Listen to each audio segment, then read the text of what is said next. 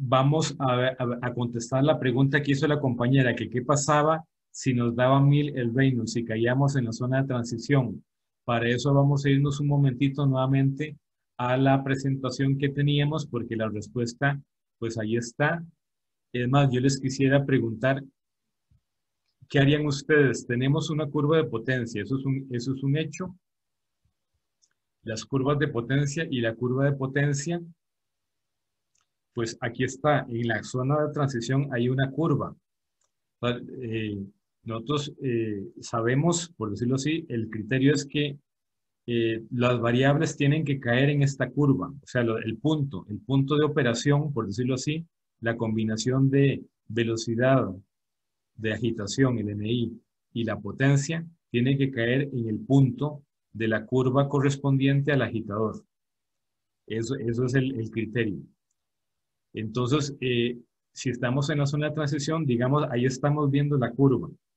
Entonces les pregunto, ¿qué harían ustedes? ¿Cómo trabajarían? ¿Cómo trabajaríamos?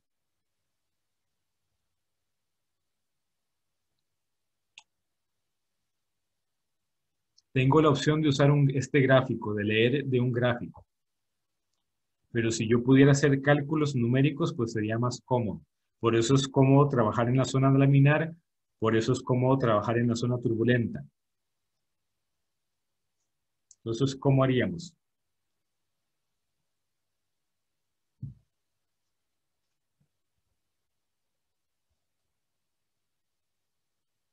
y vamos a irnos pasando.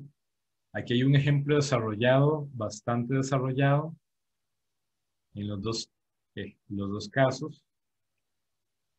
Caso particular, bueno, aquí está. ¿Qué pasa si no es laminar? ¿Qué es lo que tendríamos que hacer entonces?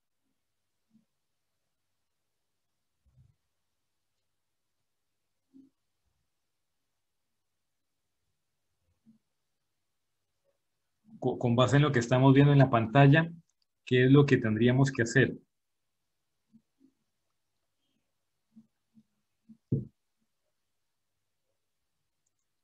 Calcular un NP. Sí, NP es esa curva que estamos viendo. el detalle es que en la zona laminar es muy simple la ecuación. Podemos, lo que podemos hacer es más bien hacer un intervalo ah, promediano. Eh, tal, vez no promediar, digamos, no, porque ahí eh, vemos que primero baja y luego sube, o sea, no, no, es, no es constante de ninguna manera, es variable.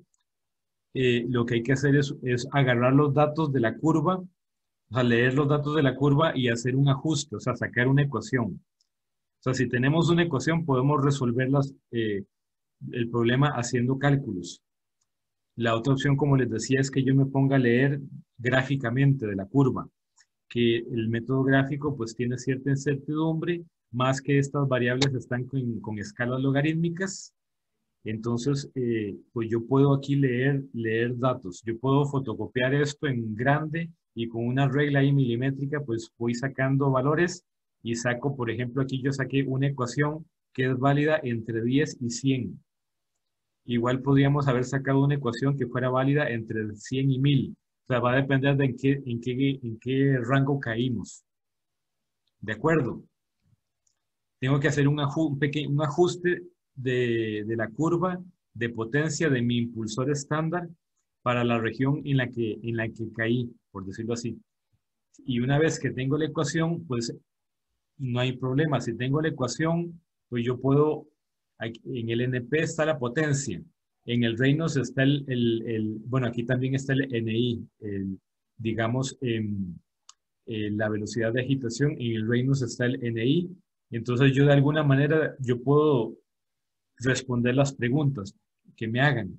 Aquí teniendo un ejemplo, yo puedo, por ejemplo, implementarlo en una hoja de cálculo, las ecuaciones y yo puedo hacer que, el, que, el mismo que la misma hoja de cálculo me haga como una iteración para encontrarme el valor que cumpla, o sea, los valores de potencia y de, y de velocidad de agitación que me cumplan, digamos, con, que, con, la, con esta ecuación, que caiga en la, repito, que caiga en la, en la curva de potencia. O sea, que el punto, eh, el punto donde voy a trabajar precisamente caiga en la curva de potencia. Entonces, se entiende lo que, lo que estaríamos haciendo aquí en la zona de transición. El detalle es sacar una ecuación. Hay que sacar una ecuación, un ajuste de datos. Eso me parece que ustedes lo han hecho en algún momento con, tal vez en tal vez con ecuaciones lineales, cuadráticas, etcétera. Entonces es cuestión de buscarle, buscarle aquí el ajuste de datos. Otro detalle, otro detalle es que nosotros le dimos, en uno de los problemas les dábamos la potencia. Entonces, ¿cómo, hacemos, cómo hacen ustedes para escoger la potencia? Entonces, por aquí hay un criterio que se llama eh, la intensidad de agitación. Intensidad de agitación. Entonces vean que hay unos libros que nos hablan de intensidad de agitación que nos dicen que esos, esos, los watts por metro cúbico o los kilowatts por metro cúbico. Y entonces que hay, hay un criterio que dice muy baja, baja, moderada, alta o muy alta. Y, y el SR, repito, representa los kilowatts por metro cúbico. Entonces, si a mí me dicen agitación moderada, usando este criterio de la intensidad de agitación, pues moderada significa R igual 0,15 kilowatts por metro cúbico. Y si el volumen fuera 10 metros cúbicos, ¿cuánto sería la, potencia?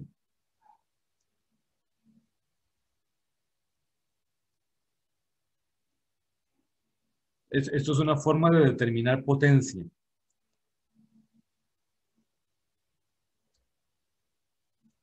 que yo escoja uno de estos criterios, digamos, baja, muy, eh, muy baja, baja, moderada, etc. Entonces, repito, intensidad moderada de agitación, R igual 0,15 kilowatts por metro cúbico y el volumen 10 metros cúbicos.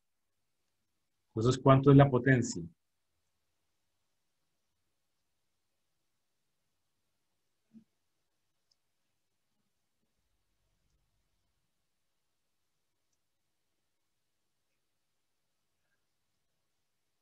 Es una pregunta muy, que se responde muy rápidamente.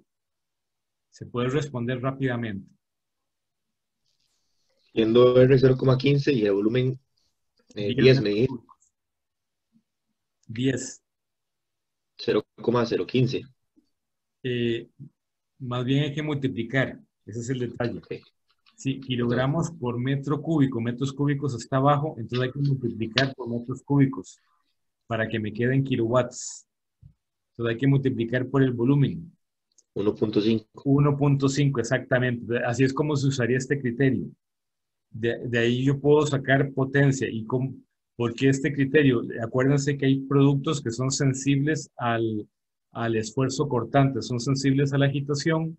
Entonces, eh, esto me puede servir de criterio que si, el, que si tengo un producto sensible, pues no voy a escoger una agitación muy alta que son 900 watts por metro cúbico, o sea, 0,9 kilowatts. Voy a escoger moderada o baja. O sea, yo puedo jugar con, este, con esto, jugar con la potencia, eh, eh, digamos, a nivel, ya a nivel de diseño posiblemente haya que probar con diferentes combinaciones de potencia y velocidad de agitación. Eh, pero, adelante. Y para seleccionar R, es decir, hay una, supongo que hay una ecuación para sacarlo. El R es potencia entre volumen. Esa es la definición. Entonces, el criterio es este. Hay cinco valores, cinco rangos.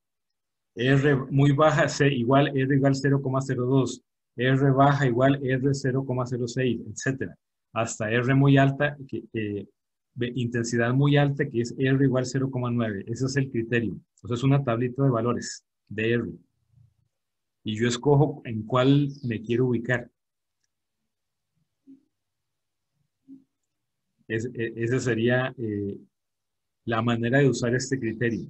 O sea, yo digo, voy a usar, voy a usar eh, intensidad alta. Entonces, eso significa R igual 0,4, por ejemplo. Y lo multiplico por el volumen y me da la potencia. ¿Queda más claro?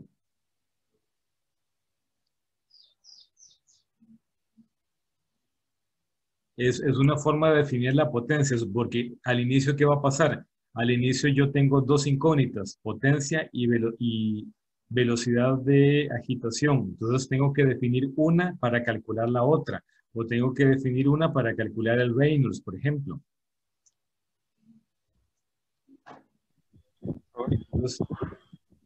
ya esto es como detallitos del diseño, en algún momento tengo que suponer algo. Eh, sí. Una, consultita. Para esos factores de potencia, para efectos de examen, ¿usted nos indicaría con cuál trabajar? Eh, esa es una buena pregunta. El ejemplo 1 que vimos, bueno, de hecho el ejemplo 2, el ejemplo 1 era la geometría del tanque. El ejemplo 2, ahí les decía que era flujo laminar y de hecho corroboramos que era flujo laminar. Pues eh, evidentemente nosotros chequeamos antes de, antes de publicar el problema, pero en el tercer problema no les decíamos cuál régimen era. Entonces, ¿qué harías en ese caso? ¿O qué hicimos? Calculamos el Reynolds. Calculamos el número de Reynolds, exactamente. Si no nos dicen, pues lo que hay que hacer es calcular el número de Reynolds para saber si es menor de 10, es laminar. Eh, recuerden, si es ancla, es menor de 100, el criterio. Y si es, y si es mayor de 10.000, pues estaríamos en régimen turbulento. Eso, eso creo que responde a tu pregunta. Bueno, yo creo que sí responde la pregunta. Entonces, para, para ir terminando, ¿alguna otra pregunta? Profe, eh, podemos hacer luego un ejercicio como ese que usted te estaba explicando. Es que no, yo por lo menos lo vi un poco confuso. ¿Cuál? El del régimen de transición. Ajá. Sí. Em, digamos, se lo puedo explicar así. Eh, no vamos, o sea, en el examen no va a salir el régimen de transición. Pueden, estar tranquilos al respecto. Ah, pero, pero en algún momento, cuando sean profesionales, pues puede ser que su sistema de agitación les caiga en la zona de transición. Entonces tienen que tener una idea de qué podrían hacer. La forma más simple es, eh, yo tengo que usar el grafo, digamos, si te queda así, para que lo entiendas de forma muy simple, eh, si caigo en la zona de transición, tengo que usar la curva que estoy viendo aquí. O sea, tengo que leer de la curva. No tengo una ecuación. Entonces tengo que leer de la curva. ¿De acuerdo? O sea, para resolver mi problema tengo que leer de la curva el valor, el valor correspondiente. Por ejemplo, del NP, que es la, variable dimensional, y de ahí sacar, pues, eh, despejar luego la potencia. Ok. Ajá. Entonces, ese es el detalle. En, en las otras zonas, laminar y turbulento, yo tengo una fórmula. Entonces, yo puedo manipular la fórmula. En, este otro, en esta región de transición, que es variable, eh, pues yo tendría que leer del gráfico yo les decía la alternativa, que si yo lo que quiero hacer es trabajar en una computadora, meter esto en un simulador o lo que una hoja de cálculo, pues esos datos que estoy leyendo, por ejemplo, estos puntitos que aparecen aquí, eh, de hecho, este, estos se supone que son los puntos experimentales. Eh, bueno, aquí dice calculados. Em, eh, o sea, así como yo los leo, pues yo, si yo leo varios de esos valores, yo puedo después ajustar alguna, alguna fórmula. Aquí, por ejemplo, yo encontré una fórmula para una región. Entonces, entonces eso, eso, eso se vale también. Pero también se vale leer del gráfico. ¿Ok? Entonces, lo, el detalle importante es que siempre mi, mi, mi, punto de trabajo, mi punto de operación para el sistema de agitación tiene que caer en la curva, no puede estar fuera de la curva. Es como con las curvas de la bomba. Siempre vas, vamos a trabajar en, sobre la curva. Ok, perfecto, gracias. Ok. Eh, ya para concluir, les quiero enseñar algo muy interesante. Eh, bueno, el tema de fluido no newtoniano no lo vamos a tocar mucho. Eh, es más o menos la misma historia, aplica lo mismo, solo que el, el, número de reinos cambia un poco la definición. incluso las constantes, hay una, hay una formulita por aquí que necesita una constante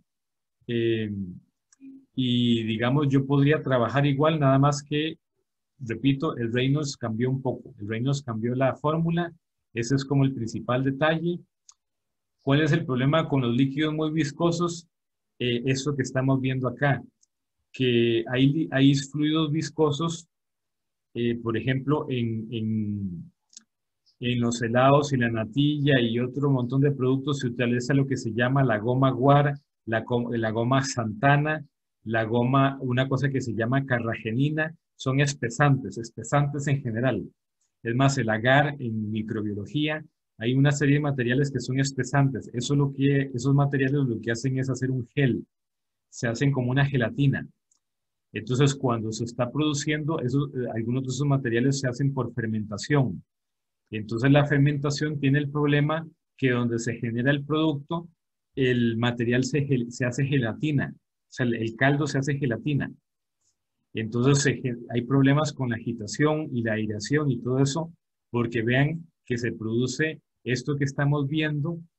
Eh, imagínense que estamos haciendo goma, eh, pues la goma santana se produce con un microorganismo, entonces toda esta zona en gris está hecha una gelatina y ahí no va a llegar el oxígeno y se me pueden morir los microbios.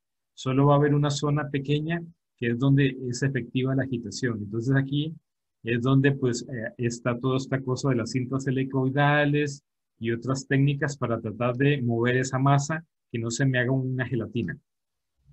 Eso puede pasar con un fluido no newtoniano. Eh, no deja de ser interesante.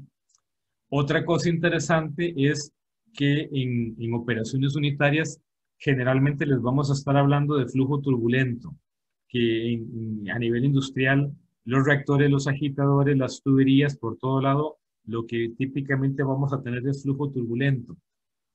Eh, e inclusive en el mezclado, con mayor razón en el mezclado hay, turbulencia, hay flujo turbulento, pero resulta que ahora hay unas una aplicación, un campo, eh, bueno, aquí está el tema del escalamiento, eh, que ya lo vamos a tocar brevemente. Eh, podemos tocarlo antes de, de hablar de la microfluídica, que es de lo que quería hablar. Vean que el escalamiento es cómo paso yo de un tanquecito agitado en el laboratorio a un tanque agitado grande a nivel industrial. Entonces resulta que hay diferentes criterios que me van a dar diferentes resultados. Eso también lo tenemos que saber. El escalamiento no es tan simple como decir, por ejemplo, voy a hacer una proporción geométrica. Eso es una posibilidad, pero existen otras opciones. Hay otras opciones. Además, fíjense que aquí hay una opción que nos dice P entre V. Acuérdense que eso es la intensidad de agitación. Entonces hay un criterio, por ejemplo, que me dice mantenga constante la intensidad de agitación. Eh, por aquí nos dice mantenga iguales las velocidades, mantenga iguales las fuerzas. Hay diferentes criterios y, como ustedes ven aquí en verde dice, es imposible cumplir con todos los criterios al mismo tiempo. Eso es, eso es eh, una de las cosas más curiosas del escalamiento, que eh, pues es imposible cumplir con, con todas las condiciones del tanque pequeñito no se van a cumplir todas en el tanque grande, o sea, algún cambio va a haber en la mecánica de fluidos o en la transferencia de calor o en la transferencia de masa. Aquí lo vemos en este dibujo como diferentes criterios. Estas líneas rectas representan diferentes criterios de escalamiento, o sea, cómo voy aumentando el, el, tamaño del tanque. Eh, o la, de hecho, aquí nos dan eh, intensidad de agitación bajo diferentes criterios y vemos donde hay grandes diferencias dependiendo del criterio que yo utilice. Entonces, esto es, esto es la realidad del escalamiento. Entonces, entonces ahí implica experiencia, estudiar más, pues incluso hasta especializarse. Hay libros escritos sobre ese tema del escalamiento. Eh, entonces, esto nada más para mostrarles que el escalamiento eh, tiene sus detalles. De acuerdo. Y finalmente, les, bueno, esto es un ejemplo de lo que podría pasar si, si, no tenemos, si no hacemos un buen escalamiento. Em, y aquí al final, el tiempo de mezclado, hay criterios para, para tiempo de mezclado, eso también existe, con el detalle que en esta curva, fíjense, les quiero llamar la atención que aquí hay un tiempo de mezclado donde está el circulito rojo y donde está el circulito azul, que es un tiempo, un Reynolds más bajo, la diferencia de estos dos tiempos es de 100. O sea, hay que tener cuidado cuál, cuál, eh, en cuál régimen de Reynolds estoy. Podría equivocarme por un factor de 100 en el tiempo mezclado si no tengo cuidado. Y para terminar, em, me interesa enseñarles esto. Existen otras formas de agitar. Hay una, una forma que se llama mezclador estático. Vean qué interesante. Yo puedo meter en una tubería unas piezas. Es más, yo he visto ahora esto últimamente. Ahí en, la UCR tienen lo que se llama impresoras 3D. Entonces, para un experimento, una tesis, un muchacho hizo de estas piezas en plástico que se llama un mezclador estático y las metió en una tubería pequeña en el laboratorio e hizo mezclado estático, o sea, un mezclado sin partes móviles, sin agitación, sin impulsor, sin tanque agitado, sino que en la misma tubería esto eh, produce eh, que el mismo fluido se vaya partiendo y se vaya mezclando. Entonces, eso es algo muy interesante que podría ser la solución de algún problema que ustedes se encuentren pues ya a nivel profesional, a nivel de la industria habían visto eh, este, este, pues, estas piezas, este, este sistema de mezcladores estáticos. No, profe. Bueno, entonces, entonces eh, pues ya los conocen, pueden incluso investigar, buscar marcas, buscar, eh, buscar información, si quieren, si les llama la atención, pues conocer más sobre esto. Y el otro tema interesante es este, que ahora hay un campo que se llama la microfluídica, que creo que se los había mencionado en una clase anterior, que podía ser un campo de trabajo eh, del futuro. O sea, de hecho, esto es uno de los campos de trabajo del futuro, porque, porque se le están encontrando muchas aplicaciones. Em, y entonces, en, en, microfluídica, lo que, lo que trabaja es, eh, digamos, se trabaja en flujo laminar, no en flujo turbulento por los tamaños. Esto es casi que microscópico. Entonces, como en flujo laminar, cada capa de fluido se mantiene independiente. O sea, la tendencia más bien es que los fluidos no se mezclan en, flujo laminar. En flujo turbulento es muy fácil que, el fluido, que los, una mezcla de fluidos se mezcle dentro de la misma tubería, pero en flujo laminar es más bien difícil. O sea, hay que eh, diseñar equipos, o sea, diseñar micro equipos, por decirlo así, que me obliguen al fluido a mezclarse. Como decir, mezcladores estáticos, pero microscópicos. Entonces aquí vemos es, esa, esa animación que vemos es la diferencia en el tiempo de mezclado eh, en un volumen de 20 microlitros. O sea que en un caso en 8 horas no se mezcla y en el otro caso en 20 segundos se mezcla y eso depende mucho de, los, de, un, de un diseño ahí particular a nivel microscópico de un sistema de mezclado. Entonces, no deja de ser sumamente interesante. De nuevo, si, si ustedes quisieran irse por ese camino, pues es un campo eh, reciente, es un campo con mucho, con mucho potencial para el futuro. Em, y que es, pero ya esto sería un tema avanzado, digamos, meternos con el tema de la agitación y microfluídica. Y con esto terminamos el tema de hoy. Eh, terminamos, eh, aquí hay unos sitios web de interés, fabricantes de impulsores y cosas así, además de los que les había enseñado. Y eh, pues este es el tema de hoy. Yo creo que con los ejemplos que vimos y con lo que hemos conversado, pues nos quedaría, espero yo, suficientemente claro el tema. Como les digo, esto es una introducción al tema de la agitación mezclado los problemas que hemos visto y los que vamos a ver en examen van a ser eh, básicos, exactamente como lo que vimos hoy. Eh, eso, y eso básico pues nos va a permitir hacer muchas cosas en la práctica. Vamos a poder diseñar sistemas de agitación eh, y eso es lo que nos interesa, que ustedes vayan adquiriendo esas habilidades.